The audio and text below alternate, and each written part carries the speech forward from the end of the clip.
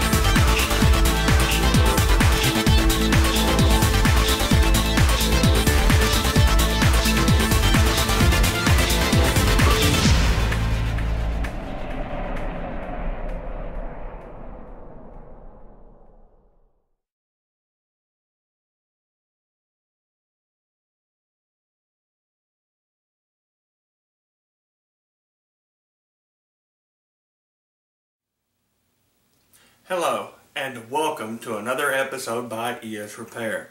I am your host, Mr. Fixit. In this video, I'm going to show you how you can connect your laptop or your desktop computer to your flat screen TV as you see behind me. Now, this here is a flat screen plasma TV, and uh, this in here is about a 46 or a 50 inch, I believe.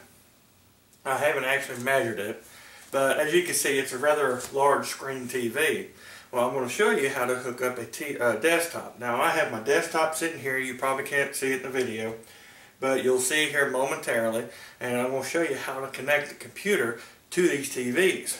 Now, one of the things that you need to look for is the kind of connections that the TV accepts. Most of them will accept DVIs or HDMIs. HDMI is most commonly used. However, you need to check to see what your computer uses. For instance, if it uses DVI and the TV uses HDMI, you may have to get an adapter, which I will show you in this uh, video. Some TVs, such as this one here, also uses a VGA adapter or a VGA plug, which is a little 15 blue, the blue 15 pin uh, connectors that I've shown in a previous video.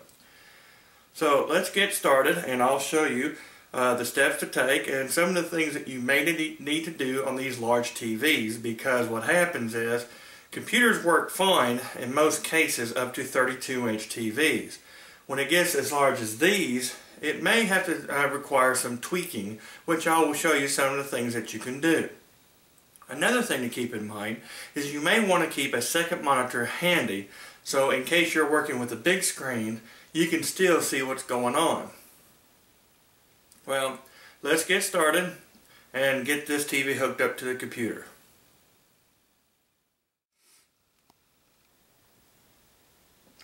Here is the desktop computer. Uh, you probably remember this one. This is one of my uh, earlier ones that I've done uh, several videos on. And what I'm going to do is show you the connectors on the back of the graphics card. Now as you can see, the one on the left is a DVI and the one in the center is for S-Video connections and the right one is the standard PC, uh, VGA adapter or plug that I mentioned earlier. Now some computers or some TVs do have that connector right there.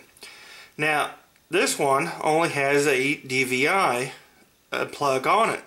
The TV, which I'm going to show you, has the adapter on it's got a uh, USB or a HDMI.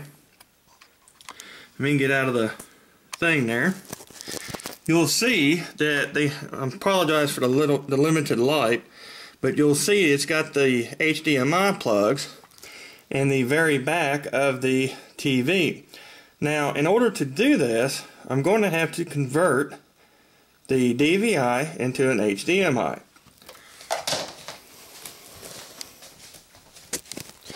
Now, to do that, as we can see here, I've got a uh, DVI. So what I'm going to use is an adapter. Now, this will convert the DVI you see here into HDMI you see here. Now, this one here, when you match it up, you'll notice where the uh, pins go. Now, this one here is the same way. And when you plug it in, it'll convert it to an HDMI cable.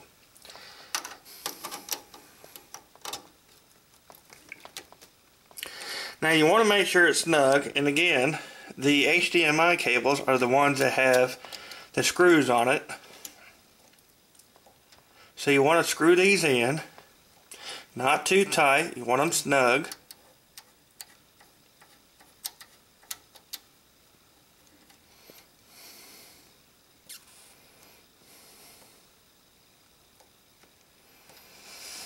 Now the next thing to do is to get the HDMI cable and then we can plug it in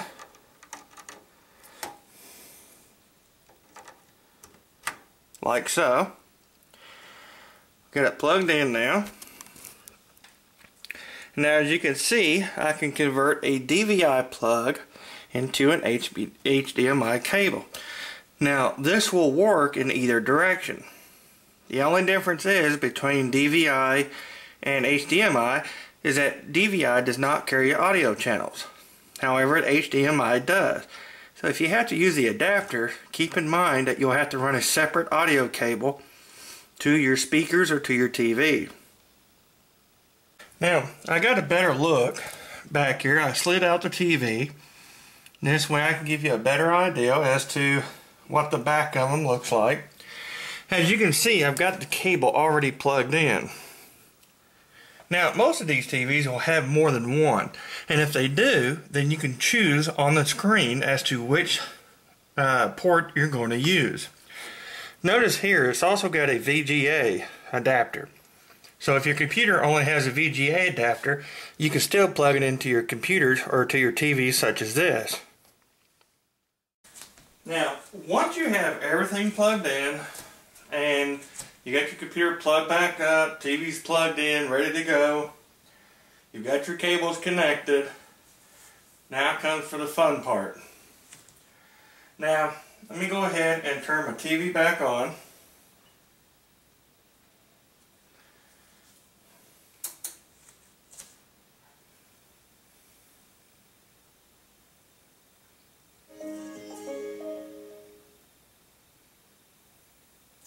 As you can see here, we, the TV is up and running.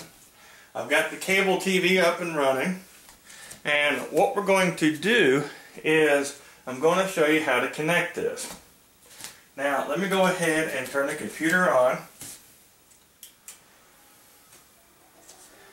Now while it's doing that, what I can do, now your TV may differ from this one. Uh, I'm going to use my remote control. I'm going to choose, as you can see here, this is what we're currently on. Uh, what I need is HDMI 2. This is the one I have the computer plugged into. So I'm going to switch down. As you can see here, it's got the menu for your PC here, which you can choose, which I'm using HDMI.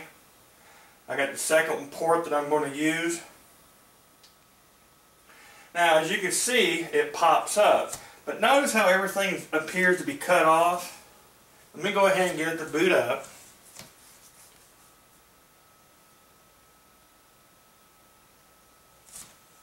Now, once the computer turns on, it's going to use a, a generic uh, device driver to work with the TV.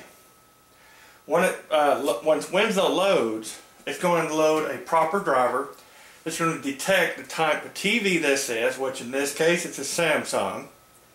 Now it may start a little longer to boot. This is a Windows 7 because when it detects the, the new TV, it's got to load the drivers and install the drivers.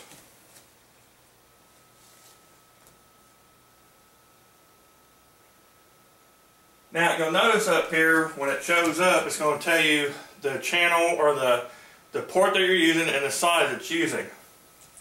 Now here comes the screen. Now it's detected that the TV is a high definition TV which is in this case it's a 1080p which is the highest uh, high definition uh, you can use.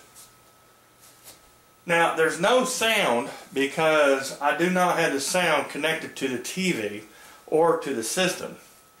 Uh, your system may differ. You can connect it to your TV. The TV has internal speakers or to your entertainment center. Now, as you can see here, uh, it's going to probably show some lines in it.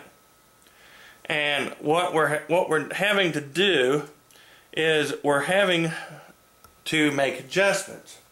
Now, because the TV is plasma, you're going to see a little bit of lines, which is okay. Uh, I'm not using uh, LCD. This is a plasma TV. When you're going to connect your computer to your plasma TV, want to make sure that you have a screensaver turned on.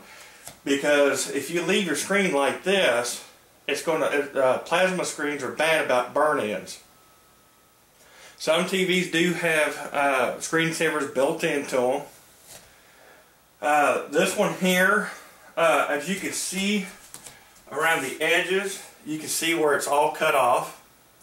You can see around here in the bottom where it's all cut off down here at the bottom.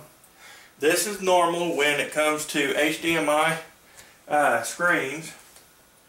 So in order to counteract this, you may have to do some settings. Now I'm going to use a TV to uh, make adjustments. Uh, here, we turn a light on. Uh, here is the menu for my TV. Now as you can see here it's in mode and I'm using standard. What I want, oh wrong one, to get over here now, the one I want is you can see here, some TVs have the pictures option, option, and this is the one we want. We want the pictures option. Now, you can choose your color tone. It's showing that it's uh, 16, point, uh, 16 and 9. That's for high, uh, widescreen high definition. You may have to tweak it out a little bit because as you can see, we're still cut off here. Uh, you can choose uh, change the size. As you see here, you get some options. Now, your TV may be different, but this is an idea of what you may have to do to get the screen to your TV, or your screen on the TV to fit. Now, what I'm going to do is you can select, if you go to wide fit, see what happens? Everything uh, takes off. Now, if you do 4 to 3, as you can see, we're still cut off on the side here. And you get the gray bars on the right. Now, what I'm going to do is use screen fit. As you can see now, it's brought all the icons onto the sides. Now everything fits into the screen. Now, if you have to, you can use position. And what position does is allows you to move the screen to where it would fit. Once you do that, uh, as I see here, you can choose a position. Once you're done, uh, you can exit out. And now you can set some other options if you need to change the brightness, adjust it for noise, uh, choose normal. As you can see, it changes the, the normal. Uh, the black levels, HDMI is for digital. Now, a lot of this is because I'm using a converter. This is why you have some of the problems uh, is when you have to use an adapter. Now, once I'm done, I can exit out. And there you go. Now your TV is ready to go and you can use your computer on your TV now. Now I do apologize the lines because it's I'm using the camera and because the TV is using uh, a lower uh, frequency is causing the line to show up in the video. But nonetheless, it's going to work. And here I'll show you. Now, let me get my cursor. Now, you can also set the resolution on these TVs. And let me show you. Go to control panel. I'm going to my NVIDIA control panel because that's what my graphics card is.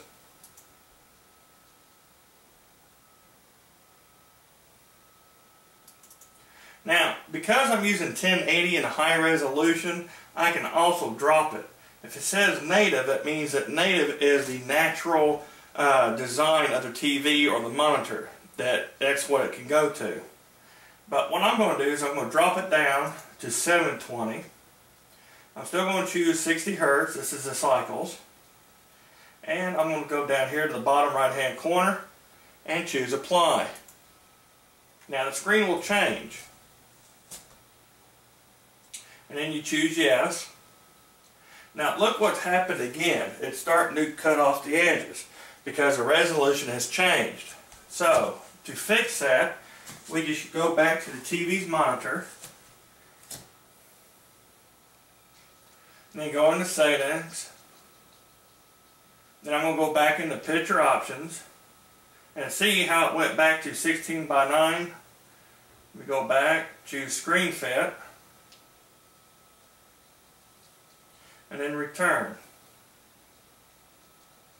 And now, as you can see, everything's been uh, squeezed back in.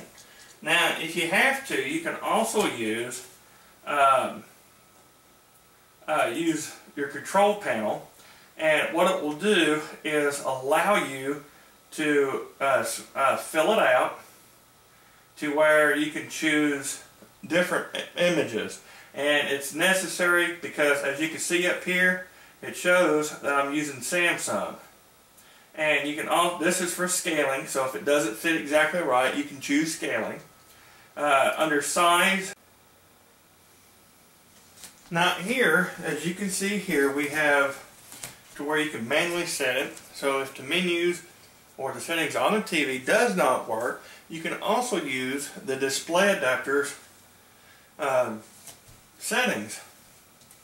Now as you can see here, I'm going to get my mouse here and here I'm going to enable desktop resizing and then choose resize and this is what it brings up.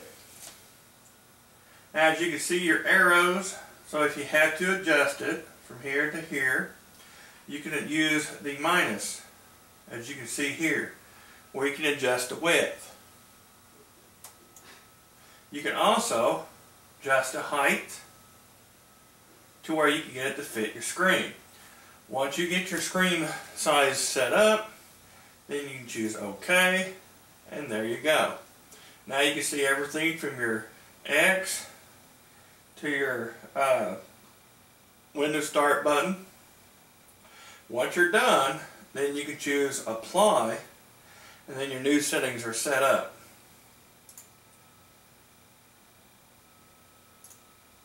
Now, and there you go. This is how you get your uh, your computer connected to your Windows or to your your, your large screen TV, your flat screen TV.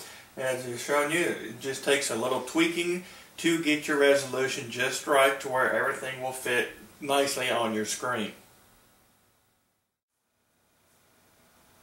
Well, this concludes this video of by ES Repair. I've shown you how you can connect a computer to your flat screen TV so if you need question, if you have questions or need assistance, just give us a send us a message or anything, or if you have any kind of problems. Uh, now keep in mind that your TV may be different than what this one was, but please read all the documentation to that TV so you'll know exactly what needs to be set up. I'm your host, Mr. Fixit. Thank you for watching.